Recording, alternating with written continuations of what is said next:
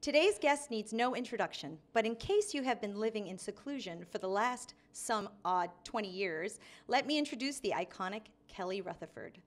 Kelly was born in Kentucky and grew up in California, where she began her acting career. Best known for her roles on Mel- Melrose Place, and then, of course, her role as Lily van der Woodsen in Gossip Girl from 2007 to 2012. She is an activist for women and the environment, a mother, an artist, and an all around incredible human being. It is my pleasure to welcome my friend, Kelly Rutherford. Thank you. Well, we're always talking anyway. We may as well do know, this. I'll record it. I'm so happy to have you on here because you have been an inspiration to me Oh my on God. my path to self discovery. And I know that you are an inspiration to so many people. Mm, Thank you. Well, we've known each other so long. Yes, we so have. long since my probably like 13, 14, well, no, probably like 10 years, 10 or 11 years. Yep, Yeah, which is a long time. It's a long time. It's a- Thank you for having me. and I was wondering if you might start by talking to us about your beginnings, like where you grew up or how you grew up and what it was like. Mm. Well, I was born in Kentucky, in a very small town in Kentucky, and my parents were in college together at the University of Tennessee, so they met and had me rather quickly. And um, so, yeah, we were in Kentucky, but then we we moved so much. I lived there. I was only, like, I think, six months old when we moved. And we moved around a lot when I was a kid. Um, my ancestors are a lot of explorers, and I feel that energy now in my life, like this sort of explorer energy, and wanting to sort of keep moving, you know, keep going and Right. keep moving. Um, so yeah, and I grew I, I grew up partly in California, Okay. and then New York a little bit. I studied acting in New York, and then, you know, I went to high school in California, which was beautiful. It was really, really nice.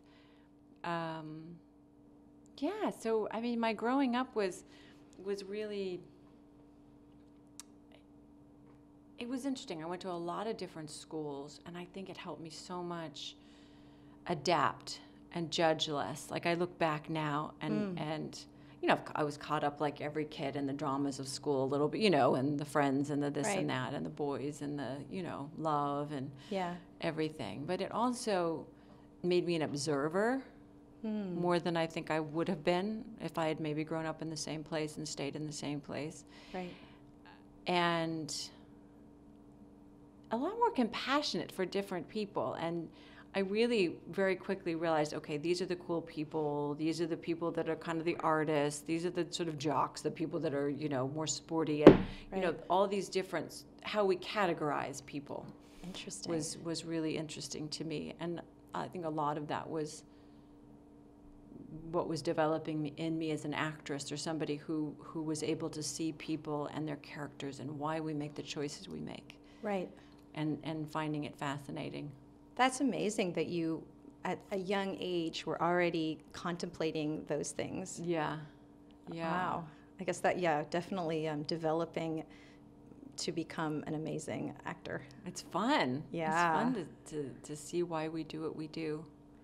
Did you, so when you were growing up, was there any things that happened to you in your life that you think really impacted you young? Or was it, other than moving around, was there anything else that, I mean, how did you feel with friends? Was there anything socially or life incidences or things that occurred? Yeah, well, I think a lot starts at home, you know, with our mm-hmm. parents as much as it does anywhere else, you know, and and I had very, you know, very nice grandparents, you know, but they had their own dynamic, you know, as couples probably did in their generation. Mm-hmm.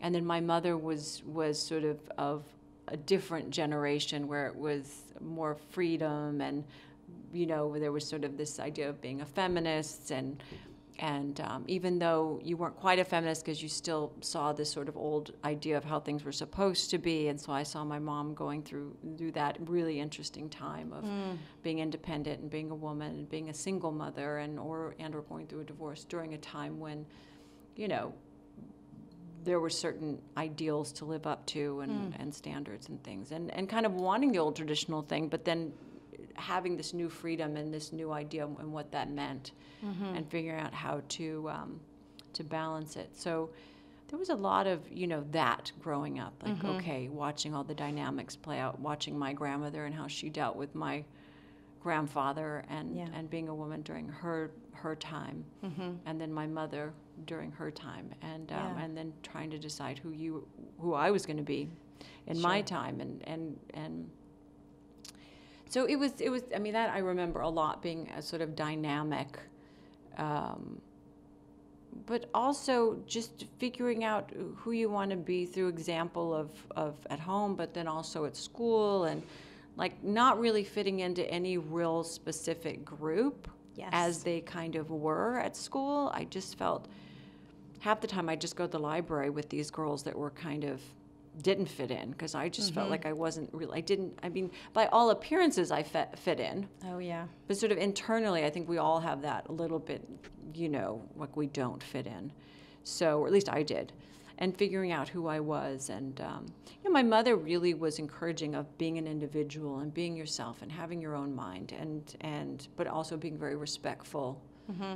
uh, at the same time, you know, because she's, you know, from the South. It was very, Right. you know, Right. yes, ma'am, no, sir, you know, like that kind of thing. Right. Yes, sir, no, But sir. I see that you you post things with your Yeah. mom. You guys are still Yeah. close. I Very think it's wonderful. Yeah. And it's it's important to have that strong mother. Yeah, and I, know? you know, I mean, I went through a tough time. I went through like a tough time with my mom too. You know, you go through times with your parents where you're differentiating who you are from who they are, Right. and and that's you know it can be challenging in relation because there's there's blame. You know, why weren't you this type of mother or that type of mother when you know.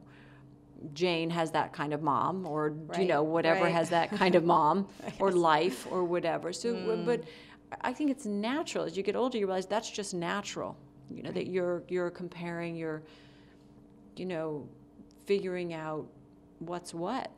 And Yeah. you re- it's not until later you realize all necessarily the blessings that were there for you. Right. Not always until later. Yeah. Oh, absolutely. Can relate to that totally. Yeah. Yeah. Have had that relationship with my mother as Yeah. well. I went through a few years where I didn't even speak with her. Sure. You know, and needed to process things. Yeah. And now we've said what needed to be said. I'm a mother, so I understand her better. Mm-hmm. I've accepted. I won't even say the word forgive because it's not about forgiveness. I've accepted what's happened and understand it. Yeah. You know, what happened, what's happening, and I see myself and all of my strengths and weaknesses, and it's changed everything or transformed our relationship now. Yeah. It's, it's Well, it's it comes not- down to love. You know, I think our mothers, if we look at what it's like to be a mother and the mistakes that we make and the, the fears that we have and the learn, you know, figuring it out as we go, we realize, oh my gosh, Mm-hmm. my mom was 19 when she had me. Like, Wow. Imagine really figuring it all out at that age. Oh and I'm surprised she, I mean, she did. And Right. now I look at her and I just go, whoa, you did an incredible job considering where you come from and, and your, your, the age that you had me. And, and so, you know, you have a lot more love and respect, which, all, you know, you come back, circle back and have so much more compassion and love for your, your Right. mher, you Right. know, when you realize all you have to do is give birth to a child, particularly naturally, and you Yeah. realize, oh my oh. gosh, girl. All is forgiven. Yeah, I it's don't all know. good. You know, whatever you had to do, you do. And you know, we all do what we have to do to survive. You know, we really do. And if you look at the circumstances in which your parents and their parents and their, but you know, were what they were given to deal with in this world, Yeah. you know, some great things, but also challenges. It it made them who they were. And so, if you can see it, sort of step back and see that picture, it helps too. Have compassion. Really. Well, with my mom, it was interesting because I, I had a flash moment where I realized, where I reframed her and everything she did as love. Mm-hmm. Because I had this idea of who she was. You know, I had names in my mind of her that weren't nice. And then when everything she did, all of a sudden I said, okay, I'm going to choose to see that that comes from love. Everything shifted in our relationship. and appreciation. Yeah. I mean, the minute I started just Sure. on, just only really talking about, and it, I think most things come back to this, whether it's with your Yeah.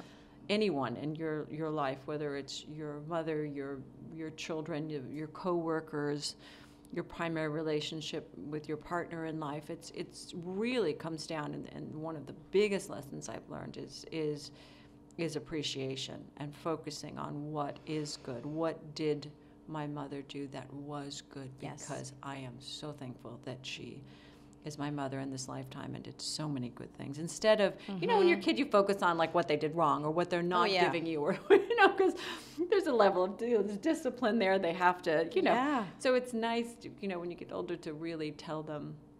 Yeah. And if you the, the the younger we can learn to appreciate, look for the things, it expands that. Obviously, it makes that all the the more expansive. The more you appreciate it, Absolutely. nurture that. You look for the blessings and the magic, and all of a sudden you see mm, blessings There, and it's- magic it's not a funny everywhere. thing, I know. It's kind of hmm. fascinating. yeah, yeah. We knew it when we were three and four, like with our little magic wands running around. You know, Yeah. we knew it then. Yeah, yeah. It's I process of remembering I know, again. I know, I know.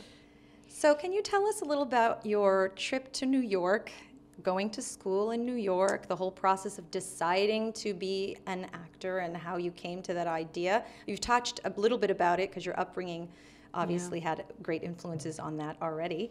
But how was that experience hmm. coming here? How old were you when you came to New York? When I well, I came when I I, I first was in New York when I was 14. I was modeling for Eileen Ford, so I we just came for the summer to model, mm-hmm. and then I came back. I went finished high school. I think I graduated when I was 17.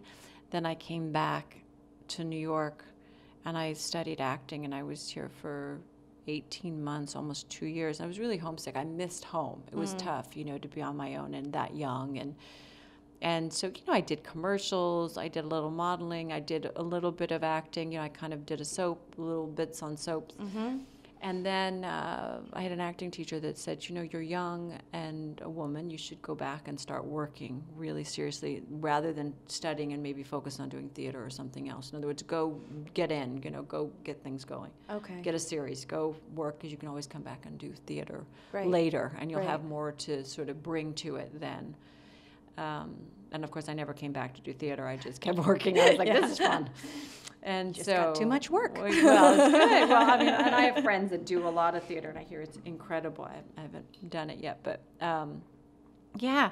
So it was just, and I grew up wanting. I was just creative. My my mom was creative. I was around, you know, creative people, and that's how it was expressed. I guess I could have gone sort of the more typical route and gone to college and studied law or studied journalism. Those were th- I was definitely I was interested in journalism a little bit. Mm-hmm. That was one thing, like international journalism, why in cultures and why different cultures cultivate different things based on where they are or traditions.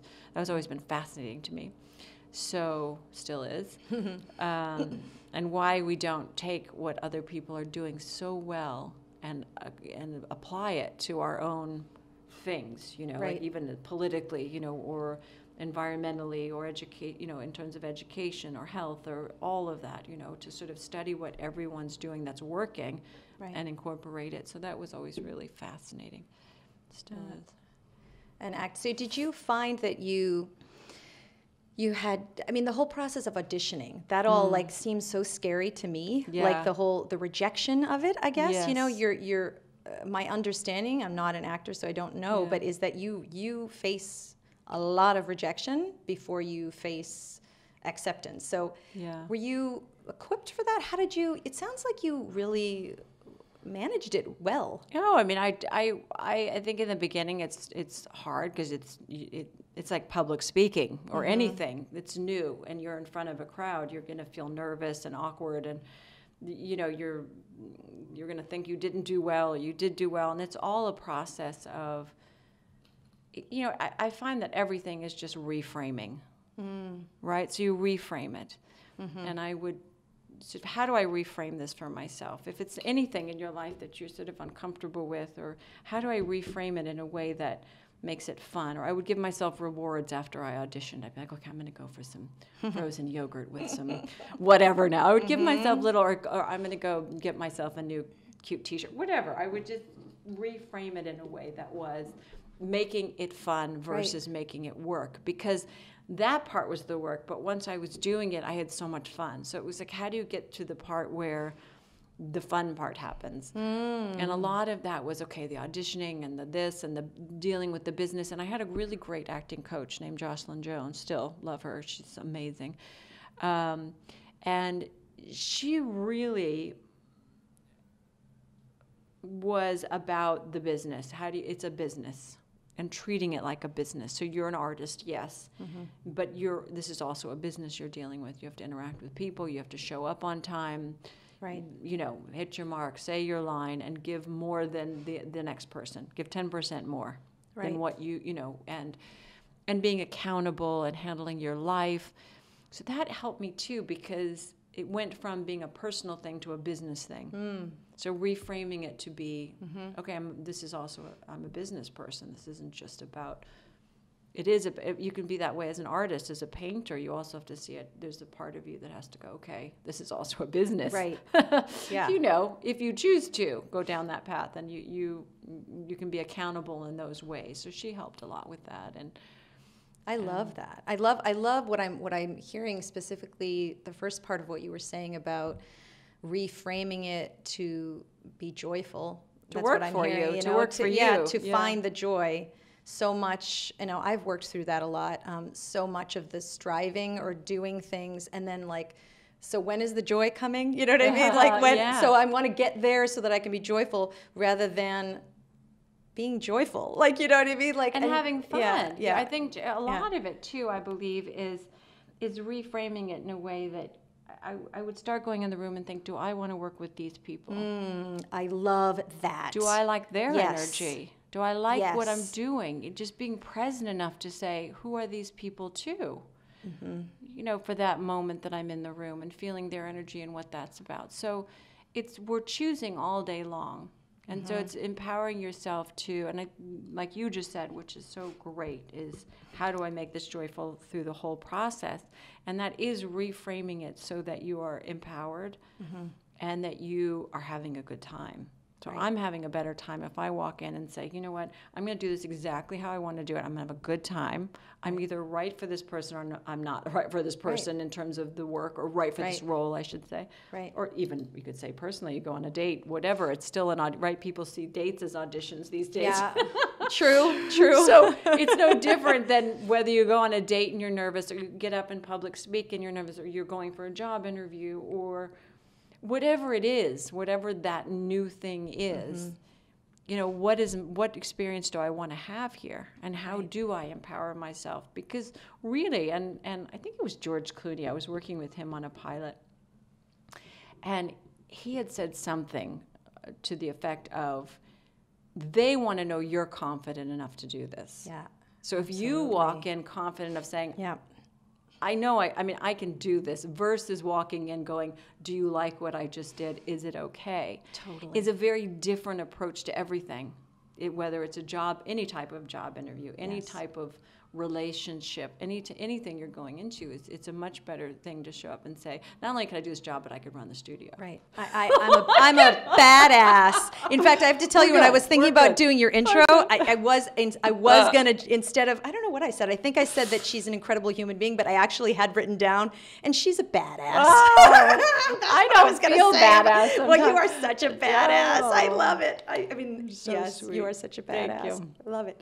Um, so that's amazing. And the other piece of what you said, which I really appreciated, that there is that piece of you need to show up and do things. And what I heard is have the discipline to kind of back up what you're doing. So this idea, you know, a lot of uh, what I, what I see a lot of times um, in the whole idea of manifesting things in your life is this idea that you can just kind of sit in your room and say, "I want this," and just stay there and do nothing, and and um, you know, and that's it.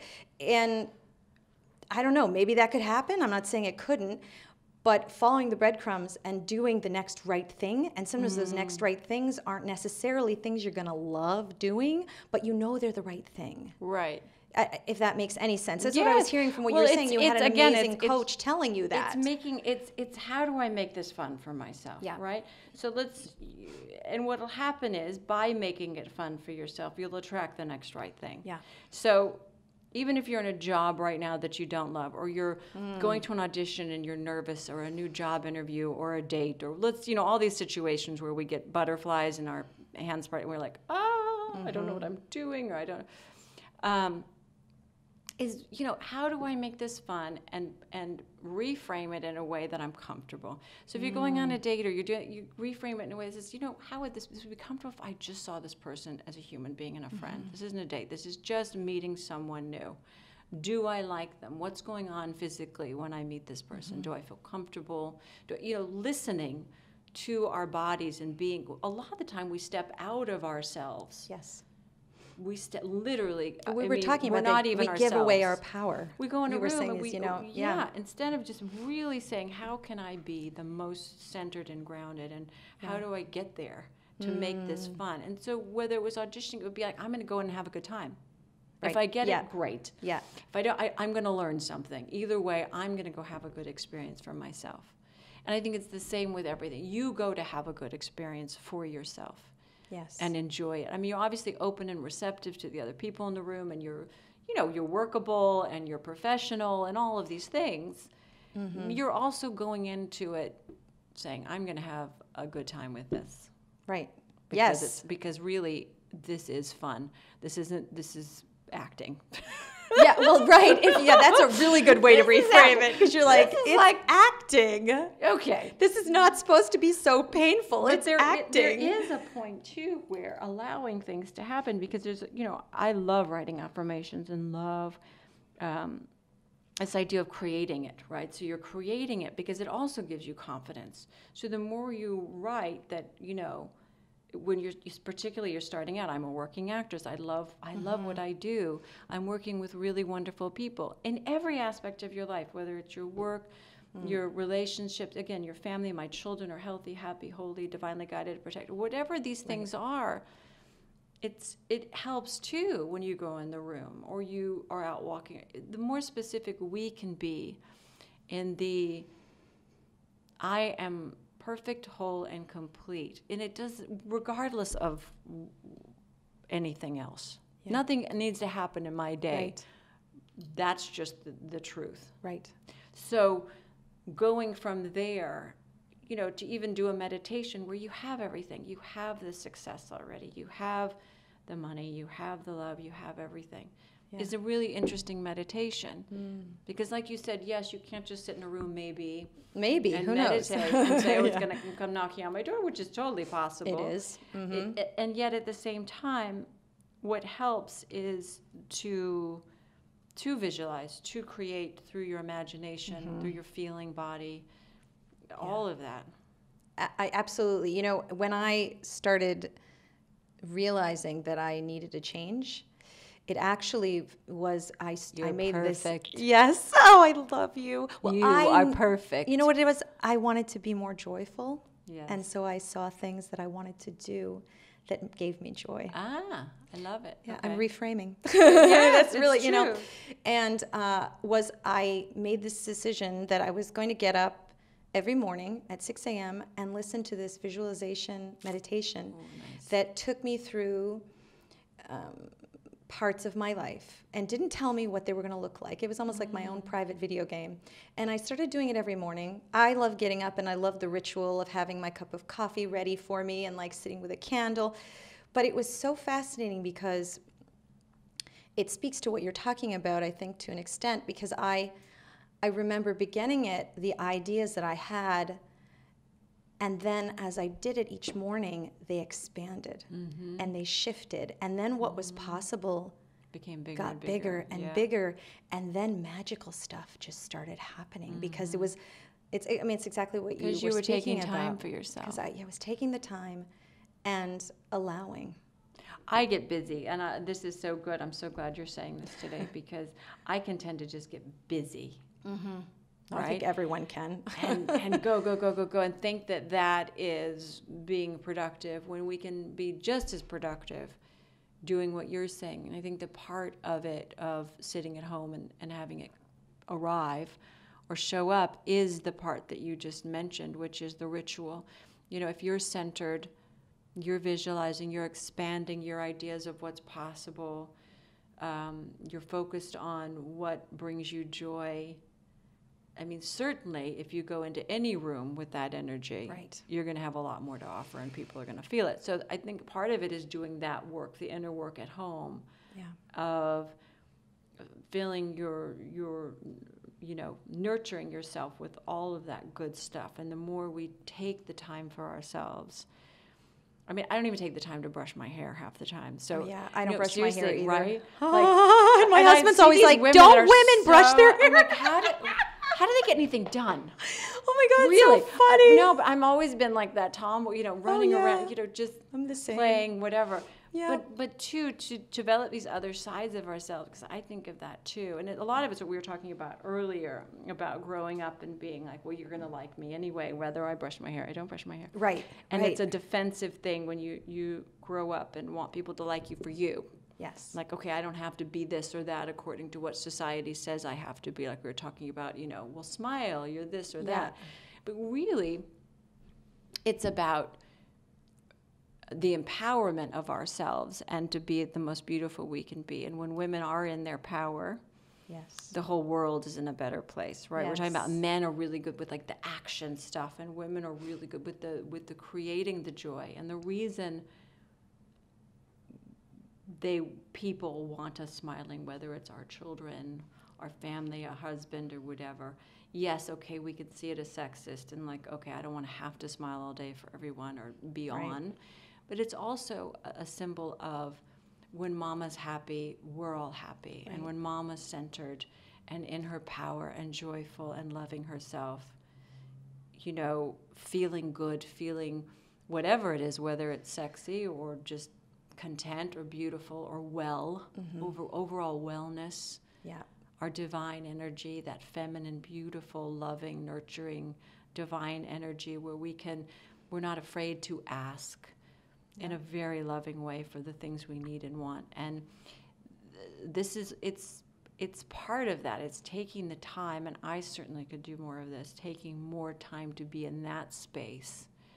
Um, That's hmm. the space where things get done, even w- with less running around. Yes. So with l- more manifestation power, you know, it's like the more we are in our, when we're centered and powered, and we take the time to do what you're talking about, which is light the candle, hmm. have the cup of tea, get quiet, go within, you know, let our hair down, Right. allow ah. ourselves to just not have to be everything for everyone, but be be what we need to be for ourselves. Yeah. Then we have something to offer. You know, Then we really have something to offer, and I, you know, certainly could develop more of those things and think about developing more of that time Right. for for that. We all, I mean, goodness, we all can. It's it's it's like I think of it as like kind of building a muscle. It's my it's my muscle, you know, like a bodybuilder, you know. And um, it's interesting because recently my husband has seen this, and I'm actually really happy because we've had a few times where we needed something really fast, and and it was kind of seemed like impossible. Right. And And he became your superhero. and well, yes, he's always my superhero. He but is. he, he, he used is his superhero powers. He he did and but what was the beautiful thing of the masculine and feminine is I, I created the space and then he created the Action. action. So i said honey it's all going to fall into line perfectly and mm-hmm. magically. Mm-hmm. What we need is going to happen and then it was like okay then he could say oh well maybe we need to contact this person to get this. And then of course we got it. You know it was it, It, was op- gave the space for ideas to come through. for that balance of like of the of for me it's really a lot of the masculine and feminine. I i I have a lot of this like you were talking about this stuff coming in very defensive very protective. s- thing around me and i'm learning as i'm finding and as i'm finding my joyful voice i'm learning that i can do those things. I can do everything.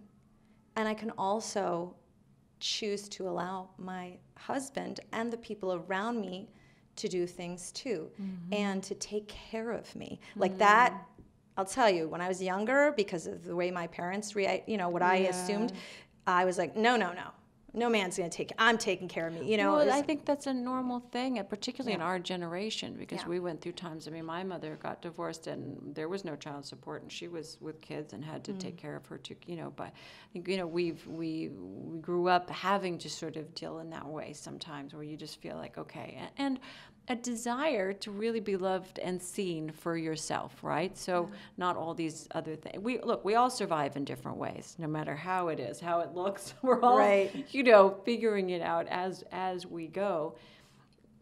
And it, it, what we were talking about earlier too is it comes back to love. So more mm-hmm. love for ourselves, more love for our parents, and that they did their best, and love for the people around us. But mainly, it really starts with loving ourselves and taking the time to to take care of ourselves.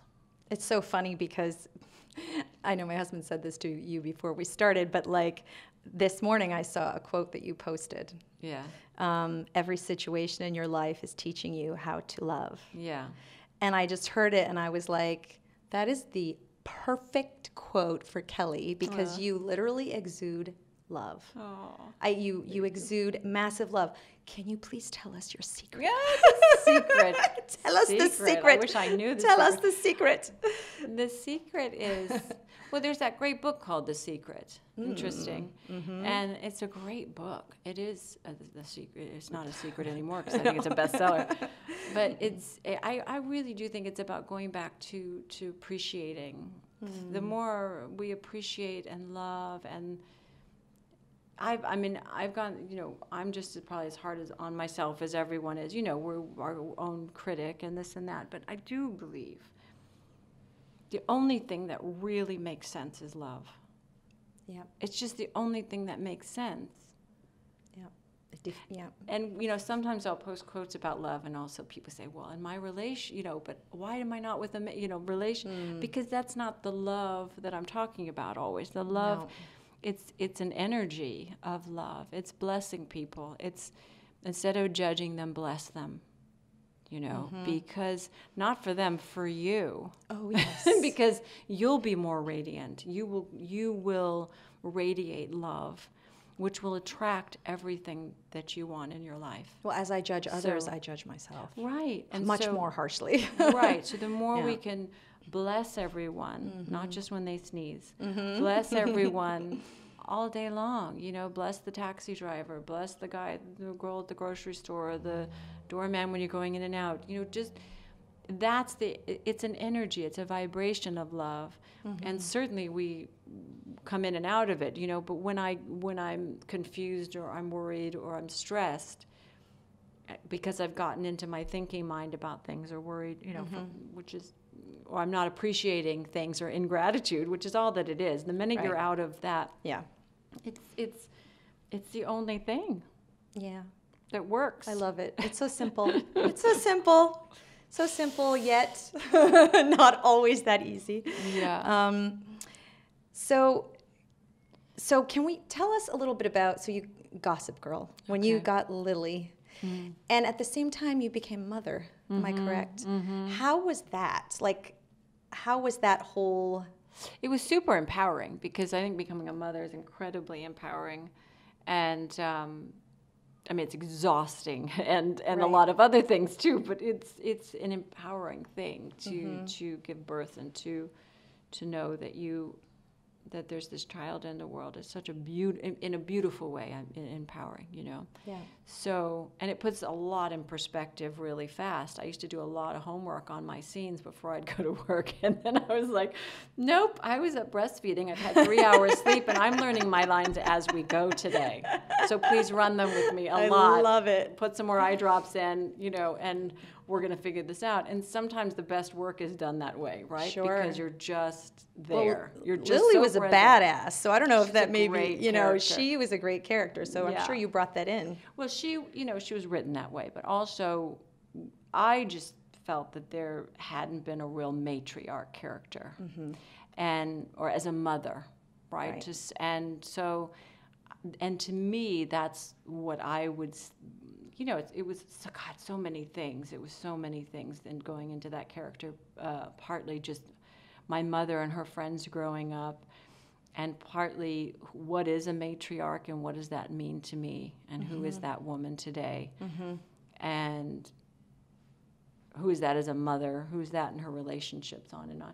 I'm like, I forget we're on camera, and I'm like, I'm, like, I'm doing a podcast today. We're filming this and we're both be like, brushing our noses, like slouching down. There's the camera there, and here I am. Um, so It's all good. right it's all good so but yeah but you know the, I- I- characters are opportunities to be the parts of ourselves that maybe we can't express every day all day mm-hmm. right? Mm-hmm. So it's like the artist's way where you say okay there's so many different aspects to all of us. How do i get all of those aspects fulfilled? And how do i incorporate those as- aspects? How do i weave that into my life you know? Um, that's the magic carpet ride right there. Is how do mm-hmm. I create a carpet that ha- you know a weave that has ev- all these magical threads of what of who I am, and it, it mm-hmm. comes in through like we, so many people are talking about ancestral stuff now, right? Mm-hmm. It's, it comes from mm-hmm. your DNA. It comes from your life experiences. It comes from your hopes and dreams that are completely separate from your family and your ancestors that you're supposed to carry on. It's listening um, all the learning that we do, all the evolving that we do. Right. It, it look, it all comes back to magic at the end. Oh, of the, yes. it does. It does. It is Yeah. because, and it's simple. It's asking. How often do we take the time? We worry, we stress, we demand, we blah, blah, blah, blah, blah for hours about stuff.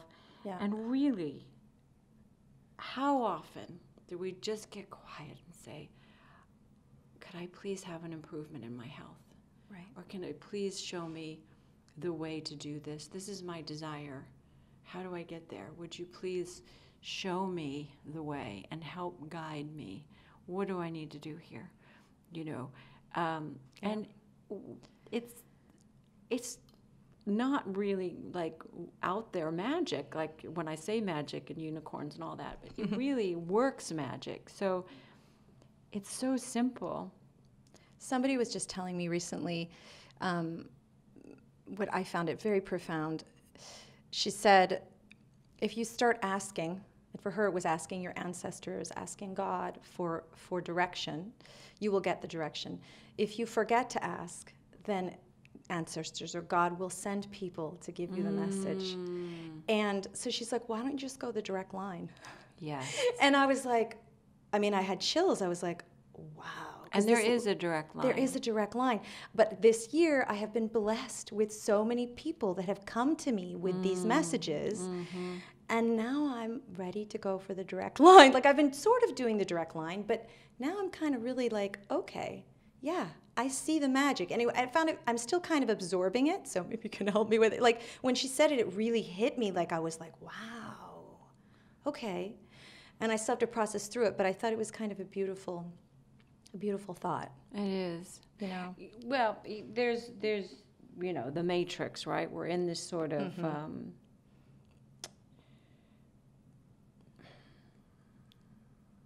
I mean, I was even. I mean, thinking during the holidays, I was thinking, you know, here we are. We have this holiday at the end of the year, and then we have another holiday, and then they take that away. and We have another holiday. We're even so holiday programmed, and so holiday. We're so nose to this. We just go along, even when we think we're not going along. There's so much that we don't we don't questionary we don't question the ordinary, Right, um, right. and how we're so guided by the economy or by these holidays or by what we're told how we're supposed to be in our particular culture or society or tradition. You know, it's just there's so much stuff. That's the reason getting quiet. That's the reason lighting the candle is so important because our own guidance and our the the line, the connection to source or God or whatever you want to call the the infinite intelligence um, that is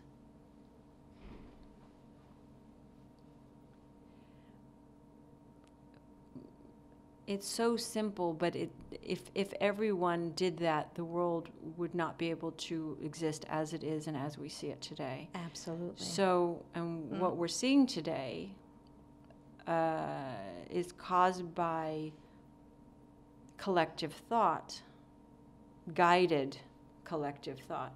So if we can have a new guided collective thought and envision something different, we can create that for sure.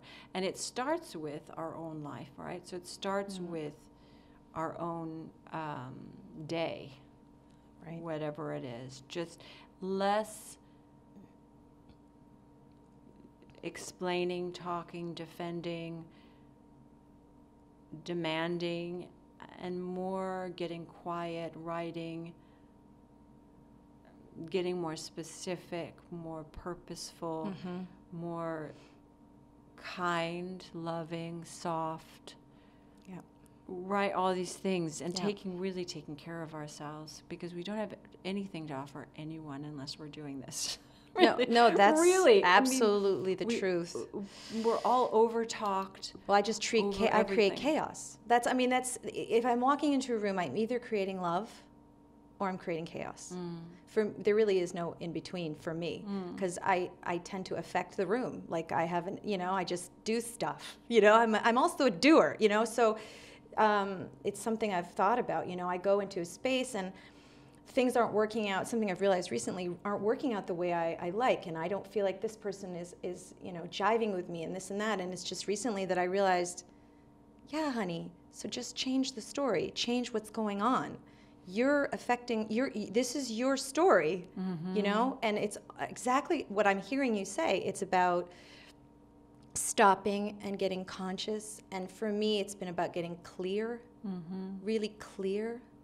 Um, and when I get into that space, then, like we said before, miraculously, relationships that didn't work all of a sudden start to work better. Mm-hmm. I feel energetically people around me that I used to think didn't like me are drawn to me. Mm-hmm. It's, it's so simple, and yet, you know, for a long time, I was unaware you know so that's okay i was evolving into understanding it now and there's definitely moments where i still like i'm not on this i'm not always aware of this you know i get Right. it sometimes it comes to me after Well, we've had years of programming in Yeah. a very different way. Yeah. So it takes a minute, right? right yeah And to be kind to ourselves and say exactly the fact Yes. that I have a desire to do this and, and I'm doing my best each day to do it is is the greatest thing ever. Because if we can manage our energy and um, stay alkaline and manage our energy and, and all,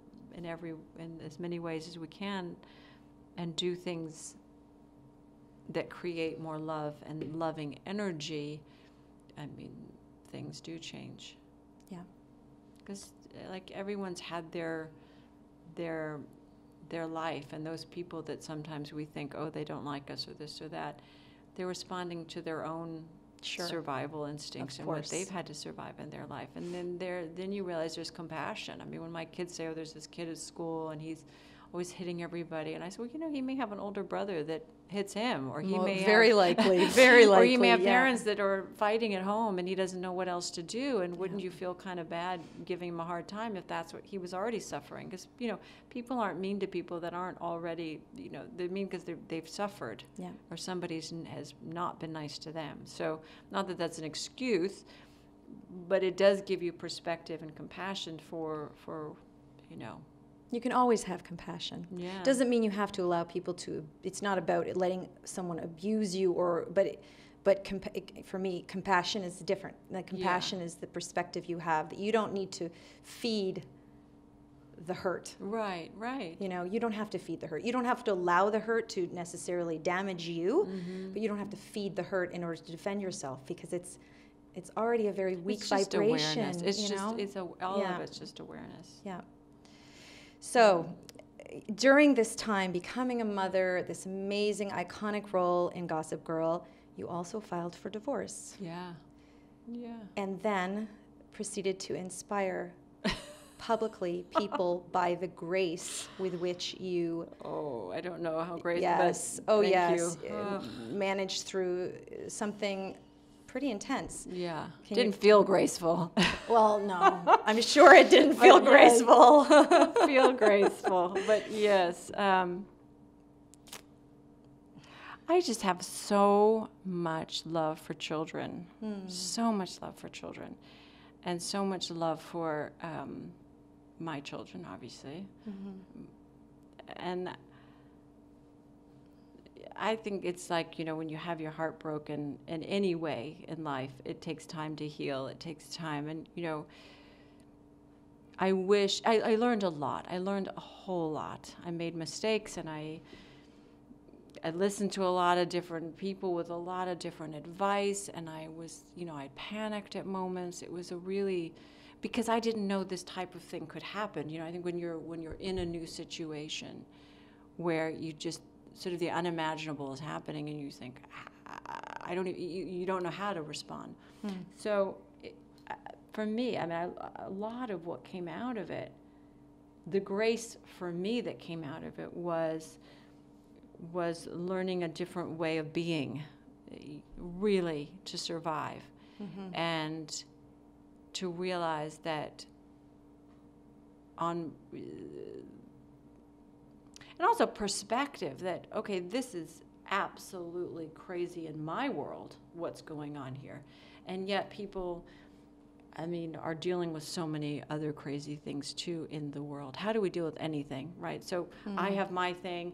You have your everyone has their version of something in their life whatever it is that feels out of control feels um, unjust.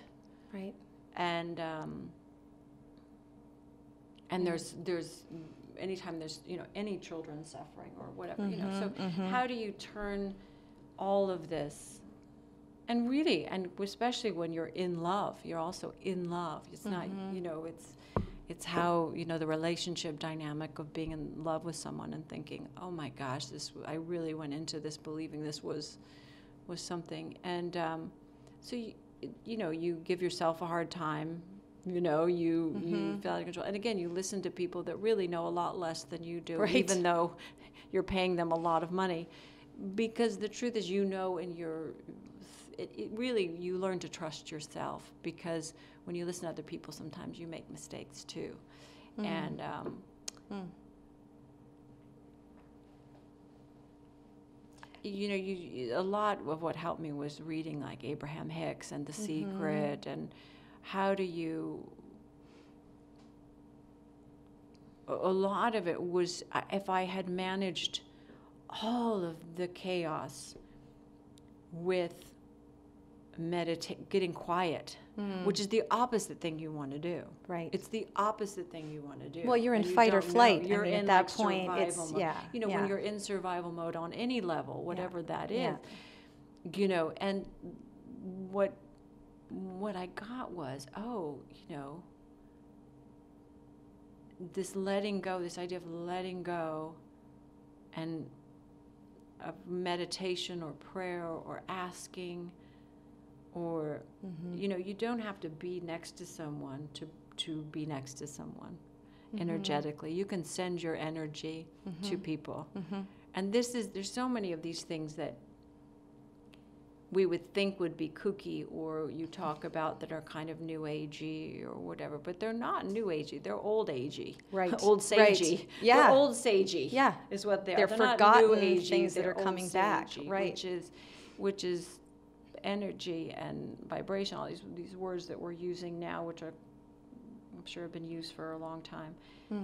How do you manage your energy in situations? It's like, you know, what they say when you're driving a car and the tire pop, you know, your first instinct is to drive.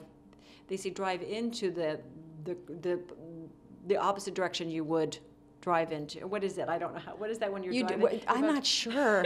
I, you know, I live in New York City and I never drive drive. anymore. I don't know. Ask the taxi driver. But if I understand, you do the opposite of what you No, should but, do. No, but what it is, like you're supposed to turn into the, the thing. I don't know. People listening will know what I'm oh, talking Oh, yeah, you about. guys even will though I am not articulating it beautifully. But it's almost like sometimes you, when you get, you know, you almost have to have an opposite reaction. When you get Yes. depressed, don't listen to depressed music. Listen to upbeat music. Keep your energy up. You know, it's the same with, Absolutely. you know, all these things. Even though people are saying, oh, this is, da, da, you have to keep your energy up. And there was a great woman healer that I went to, Seva Simran Khalsa, she's Khalsa Sikh lady in LA, when this was all going on. And she just saw it. She was like, oh. And she so wisely said, What I want you to do, if you can, is just visualize your kids being happy and healthy, Hmm. and then with you, and this and that, and everything working out beautifully. And had I probably spent more time doing that instead of being in survival mode, which I did do a lot of it, and that's I know you how I did. got through. Oh yeah. But and even just visualizing all day how you want it to be, not how Mm-hmm. it is. How it, you know, there's there's the how it is, and you can go over and over and over. It's like the computer. There's that thing Yep. spinning, and you can just keep spinning. Or you can, even when you feel you have no power or no strength or no control, what you, the control that you do have is your own creative mind and your own feeling body. So to visualize things working out and send sending good energy the way to where it needs to go Mm-hmm. is incredible. I mean, a mother sending energy to a child is very powerful, no matter where they are at any time in the day. Right. And the min, you know, even turning any worry into that. Okay, so there's a worry. How do I turn that into an affirmation, either spoken to to my children and or energetically sending them a certain mm. energy, and even to the courts, to to you know your ex-husband, you're this, you're that and it doesn't work all day every day Right. but if you're getting there and you're doing that more and more and i realize in every aspect of our lives we can do that and it's Yeah. not something we're necessarily taught and ha- it's important to teach that Yes. because it's more powerful than the alternative and the alternative Absolutely. is not good so whether it's healing or what is that there's a movie that's up for an oscar this year about the chinese i think it's the Chinese, is it chinese family who um, won't tell the grandmother she's dying and it's a tradition okay. so the grandmother's dying she has cancer and they all have to, to and they the doctor even says oh no no you're fine the results are fine even though she has like six months left she's like Right. And so they all act like nothing's wrong, and they don't tell her that she has this thing. Yeah. You know, she coughs every once in a while, and everyone goes, "Oh!" Right. And the, you know, and everyone's in tears because they're trying to keep it together because they know they may lose, the, and everything becomes very precious, and every minute with her becomes, and people do the extraordinary things they wouldn't normally do because they know she may. Well, in the story, and it's based on a true story, that woman's still alive. I could guess the ending. I could guess. I, I didn't want to say it while you were So talking, but I was like, it's not course. denial Of per course. se, Of but it course. is a certain level of saying, you know what? Yeah. The minute we hear we have something or something negative, we take it on. Absolutely. Right? So if you don't sort of allow it into your energy field and Mm-hmm. you don't label it and associate it and go down that road, I'm not saying it's the cure for everything, but it certainly is an interesting. The other way, we know the result. Exactly. Therefore, why not try something different, which is Yeah. let's just not. And if you don't know, Yeah. your body and your cells don't go into believing it and knowing it. It's like my, that great thing about the bear in the woods. You know, when you're out camping, there could be a. You think there's a bear outside of your tent. Well, whether there is a bear or there isn't a bear, your body reacts the same way Abs- yeah, it doesn't know the it doesn't know it the still difference. reacts it as doesn't if know there's the a bear, and you can kind of go, okay, there's no bear. I just heard a little cry. Well, it's the same thing. I think with with healing ourselves or Mm-hmm. our ability to say, okay, we'll, we'll believe it until it is real, or we will not. We're not going to go there. Well, it's, it's a funny thing you mentioned that because there's this. I listened to this. I remember testimonial from this woman, and it was a public thing, and she it was so it was definitely factual. And she had terminal cancer, and she decided she wrote on a piece of paper a date, and she said, "I'm healed." And she said, "Everything I did from that moment on, every word I said, every thought I had, no matter how horrible I felt, I said, I'm healed. Somebody asked me, I'd say, I'm healed. Yeah. And guess what? Three months later, the cancer was completely gone. Yeah. And I, I remember hearing that and being as as astounded as I was, I also knew it was truth. Like I was mm-hmm. like, that is absolutely, like you said, the truth about everything in my life. So it's funny because, you know, as I'm walking in this, i I think about this when people ask you how you are, you know, if I'm tired and I'm not doing well, you know, I don't want to be like fakey fakerson walking around being like, I'm great all the time. But at the same time, I'm like, well, what's going to benefit my well being? Is sitting and telling them how horrible everything is and my sob story, is that going to help me? No, you're going to attract more of it. I'm going to attract more of it. So really, at this point, I don't care. Like, and then I'm like, they're going to start talking about their stuff that's all bad too, yeah. and then you're all going to be yeah. in it together. So, so, I've kind of given up caring. Like if yeah. I look like a fakey fakerson, I don't really right, care. Right, like now, right. I'm just like, you know what? No matter what's going on, I'm doing great. How are you? Right, right. You know, and that is different. It it doesn't feed life into the things I don't want. Yep. It feeds life into the things I want and That's shifts where me. your choice is. That's know. where your power is. Absolutely. So going back to you are an amazing mother. I know this for a fact and Thank I can you. hear that the the experiences of the last what 10 13 years yeah. that has had a big impact on you as a mother. Yeah. Your voice as a mother, the way you are. You've spoken a little bit about that. Is there anything else you wanted to share on that topic because I I know you, your children like are so lucky. Oh, I mean, thank you. Yeah, I'm lucky. I'm lucky. well, I'm yeah, lucky they there. chose me. I, I, always tell them, I'm just just so flattered you chose me to be your mom in this lifetime, and mm. and how can I be the best mom for you? You know, and it's um, you know, it's just love. My kids know that I love them, and mm. you know, I think we. I always knew I was loved growing up, no matter what was going on. My mother, I always knew my mother loved me, and I think love and affection and all of that's very healing, and it's also empowering to say. You know, I tell my kids, look, all of this is your Jedi training. We mm-hmm. all have our Jedi training. I had mine with my family. You have yours with your family. We all have um, it, it's again, how do you reframe it so that you realize that it's empowering? It's an empowering situation. I mean, they're going to be able to deal with so many things in their life in such a powerful way, right. and have such a different perspective. And it's, and again, it's you can look at the negative and look at the bad and toot your horn to that, or you can look at the good and the upsides of things and toot your horn to that, and you're going to have two very different feelings going through your body all day you're going to carry around two very different energies and you're going to have two very different results. Mm-hmm. So, all day, that's what we're choosing. Right. All day long with thoughts we're thinking. And I know this has been said a million times, but it's true with all, with everything all day. We think we're trying to control the things we can't control and we're not controlling what we can control right.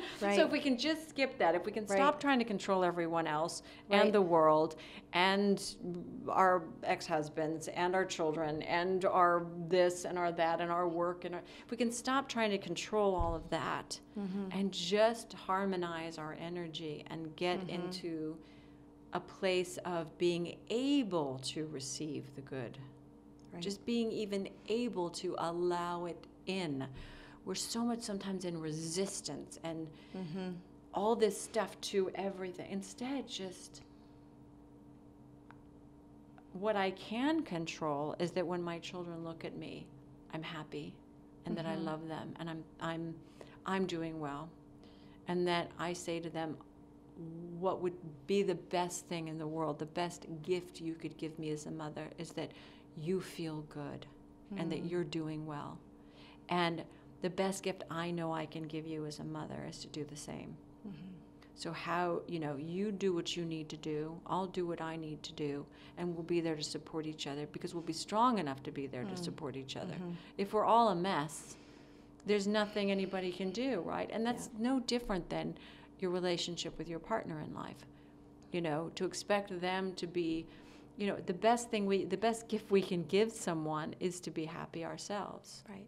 Because that's the reflection they're getting back is somebody that knows what they want takes right. care of themselves loves themselves was a very clear uh, communicator of their needs in a loving way. Right. Um, and, and being able to appreciate the person sitting across from you right. all the beauty mm is there. Right. It's all right there. Everything is right. in front of you, all the beauty. And we're we're distracted by nonsense. Well, it's funny Complete because nonsense. the next thing I was gonna I was going to ask you was, you know, what do you think are the myths around coming into your own and finding your voice, and you're answering it already, basically. You Well, know, it's by what finding your inner saying. voice. It's not even. that- I mean, we all have a voice, right? Right. But if you don't have inner your inner voice. Well, that's first, it. Yeah. you know, Right. it's But- really finding your. those myths about Yeah. that. I mean, I hear you answering it already, like that. It's kind of counterintuitive in a sense. You know, you think that if I am in my power and I'm that the guy is going to run away or this is going to happen, and in fact, it's the opposite. It's it's really not that. Hmm. Hope he runs away if he's gonna Well, run away. You know the, what I'm the wrong one Like is going to run away. The one that's meant to be with you is going to Mm. stay. But it's often the opposite. I mean, I don't know if you can speak to that. Just, I'm always wondering, you know, uh, the question of it seems so scary sometimes. You know, you to listen to that voice. There's that voice. We all have it. Sometimes we tune it out. Um, sometimes we're not even aware Because because we're, we we're raised to listen to everybody. everybody else. At school, we're Right. raised. Our, we listen to the babysitter, listen to the parents, listen to the older people, listen to your grandparents. Right. You know, instead of saying listen to yourself, was what we should be telling our Right. children. Well, what is what does your inner guidance system tell you? What is your intuition telling you? What do you what do you Right. believe to be true for you? These are the conversations to have with your Right. children. right. What But do it- you yeah. what do you believe I should do? Right. Well, and I love every time I Because it's ask you true. something, you always write. I love it. The last time I told my husband, I asked you a question about something, and you wrote back, "Well, what do you think you should do?" And I was like, "This is a, Well, this is you the know Kelly- better than I know, do. I but mean, I know. love that. It's I love that. true, But it's it's true. You're right. It's true. I mean, it's nice to have someone to bounce things off of. Sure. I mean, that's a difference, right? And hopefully that person's saying, "Well, what would make you feel really good?" And what what what you know, what do you want to do? What would be the most fun? Right. Really, because Right. that's that's what a good friend will or coach or whatever lover will will say is, "Well, what would make you just light up so happy, be so happy?" Right. you know that's it and the same with our kids what what what, what do you want to do how can i support it in a way that's you know age appropriate for you Right. you know So, you know, as I've been developing the this podcast, I've had the same question keep coming up a lot. And it's I feel like or maybe it's my intuition is telling me that there needs to be a shift. I want a shift. I don't know what to do. I don't know where to start. What do I do first? How do I do this? This feeling of being really overwhelmed with Sure. what's the first thing I can do. And um, I don't know if you have, if someone asked you that question, what would you say to them? Because I always, I'm thinking in kind of like contemplating what, what, what is the best thing to guide them to themselves in that, to answer that question. well anything new is overwhelming if, Right. particularly if you don't know about it right, Right. anything is going to be overwhelming Right. so you, you know you figure it out as you go and you you visualize as much of it as you can that feels good the, the idea Mm-hmm. is to think about something as long as it feels good. And then the Mm-hmm. minute it doesn't feel good anymore turn your attention to something else and think about it for as long as it feels good. Right. and then go back to that other thing. It's creative play right? So what happens is we think about this idea oh i'm going to start a business it's going to be great i mm-hmm. got this i got this da, da, da. and then all of a sudden you start going okay but then i need to find out who this is and i don't know how to do this and i don't know how to do that and you go down this road of just like so you never do it ah, because you don't Right. know how to do all this stuff Right. instead of that's what's so great about kids and i think kids should Should run the world. not that, not for like child labor. That's not what I'm saying. But I do think that kids should be asked and supported and creative endeavors earlier. Mm-hmm.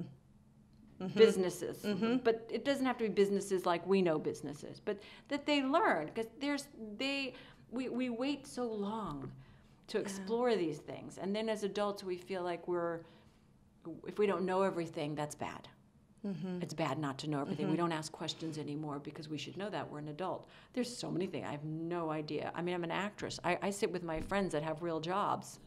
Yeah. like like corporate jobs. I don't mean real job. I have a real job. But you know, like I'm like, well, what is it like to do that? to manage all those people, or to to have you know board meetings, or to mm-hmm. to do what they do all day. It's fascinating to me. Mm-hmm. You know. Mm-hmm. Yeah. because I know what I do and, and how it works, just like it's fascinating to other people. You know, how does that work? What's it like being on a set? What's it like to, do? you know, I'm the same with other people and their jobs and what they do and their abilities. But think about it until it's fun and make lists. And hmm. again, do until it's fun. Make the calls you want to make today. So let's say you think, okay, what do I need? What would be fun to learn about here? I need to figure out if I want to make dresses like manufacturers and labels and all, the, and just do the part that's fun for that day. It's, hmm. it's like a little. I think it's, a lot of it is just we don't have to have every answer to everything today. That's great advice. The stuff that's fun, do, that. Do get up in the morning Yeah. and say, what part of this mm-hmm. would be fun for me mm-hmm. today? Mm-hmm. Period. And what can I do that's fun today? What can I do? Can I do something that's what can I do for myself that's nice today? Right, Whatever it is, right. you know. And then you'll find that like every day of your life becomes kind of fun. I mean, you are an adult. You're allowed to do what you, know, Allowed you can have, have a cookie fun. for lunch. exactly. You could go to bed what time you want to go to bed.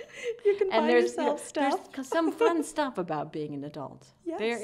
is. Oh, yes. You can start a business, and your parents aren't going to tell you and you can't do it, or you can do this. You can. Yeah. So it's it's into the play. A lot of it is the play, and Right. I'm guilty. I mean, I need to play more. I I tend to be a bit serious. I can get serious about things, so I, I won't start doing that. Or you don't Right. want to you know you're even as an actor as as a woman you know you're seen in a certain light mm-hmm.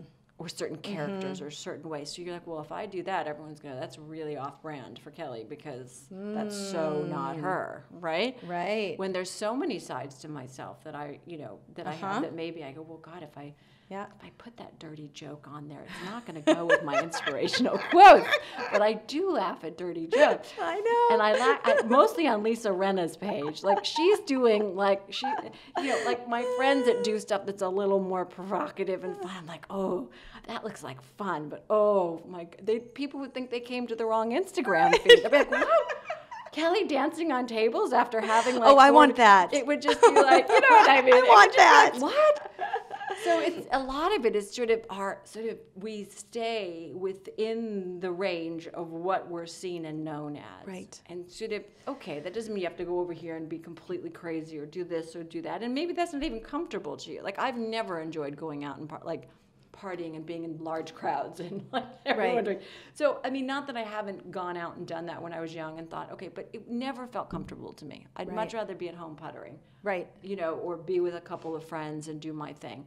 I have been social. My work is social. I'm, you know, I enjoy certain social gatherings, but it's Right. not my like my brother loves music. He'll go to every concert, stay up so late, be in a crowd, and he loves it. Mm-hmm. He thrives on it. You know, he he's a musician.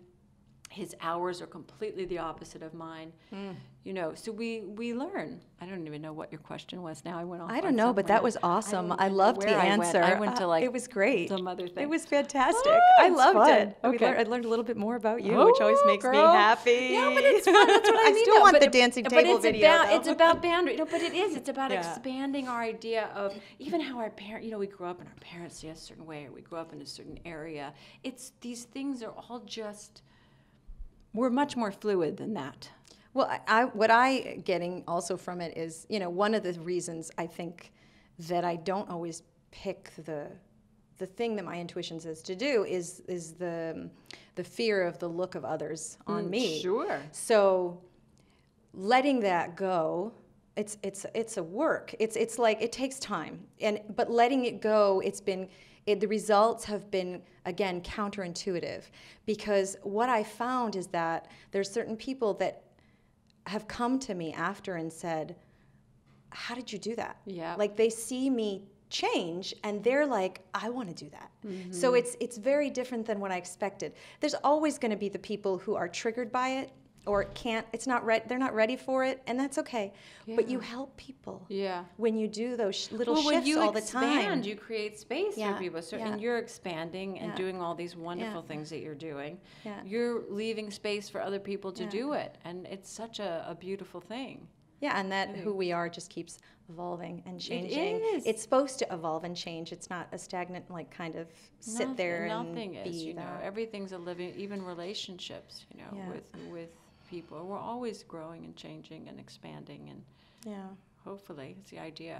Oh my the- goodness. The planets are, the universe is. It's just sort of. I feel like we could have we could have continued with like a four hour epic podcast, but I think that people maybe we'll We just have to do. do we'll do another we- one. we- you and I are always talking about these things. Well, we'll do another one We in need the to do a coffee thing, like Uh, just a- yeah, just like a coffee co- talk. I love it. coffee